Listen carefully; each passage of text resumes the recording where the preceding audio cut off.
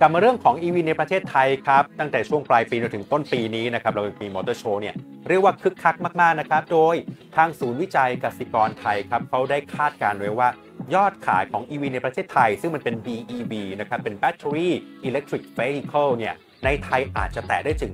50,000 คันเลยนะครับ หรือคิดเป็นอัตราเติบโต 270%นะครับเมื่อเทียบกับปีที่ผ่านมา และนั่นจะทำให้ส่วนแบ่งของรถยนต์ ในประเทศไทยเนี่ยเป็นส่วนแบ่งของรถ EV สูงขึ้นถึง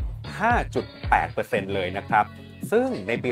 2565 ที่ผ่านมาศูนย์วิจัยกสิกรได้รายงานว่า เราเนี่ยมีการจำหน่ายรถ EV ไป 13,454 คันครับ และจะเพิ่ม 270%หรือว่า 2.7 เท่า เป็นระดับ 50,000 คันได้นะครับ ก็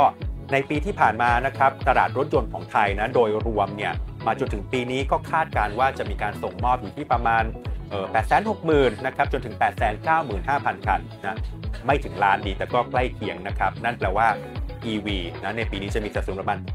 5.8%เลยทีเดียวนะครับ ซึ่งในการคาดการณ์นี้นะครับได้มีการหักลบกับปัจจัยที่อาจจะเป็นตัวฉุดนิด ๆ อยู่นะครับ ก็คือความกังวล ของผู้บริโภคเกี่ยวกับเรื่องของ Ecosystem นะครับเรื่องของการซ่อมเรื่องของอะไรเรื่องของจุดชาร์จต่างๆนะครับว่าเอ๊ะมันจะพร้อมแค่ไหน อันนี้ถือว่าเอามาคำนวณรวมมาไว้แล้วครับ ซึ่งทางกสิกรก็มองว่ามันจุดสมดุลของความต้องการผู้บริโภคก็จะอยู่ที่เรื่องของราคานั่นเองครับ ซึ่งในตอนนี้เนี่ยหลายประเทศนะครับ ได้เข้ามาบุกตลาดในไทยมากขึ้นครับ เปิดตัวรถยนต์รุ่นใหม่นะครับ เปิดเรื่องของ EV Charger แบบใหม่ ๆ ทีนี้พอทำให้มันมีความหลากหลายในตลาด ตรงนี้แหละครับ จุดสมดุลของราคามันก็จะเกิดขึ้นได้ดีมากขึ้น แต่แน่นอนครับ ผู้เล่นที่เป็นรายหลักก็คือประเทศจีนนั่นเองครับ ซึ่งในตอนนี้ครับรัฐบาลจีนเนี่ยเขาได้หยุดมาตรการในการให้เงินอุดหนุน การซื้อรถ EV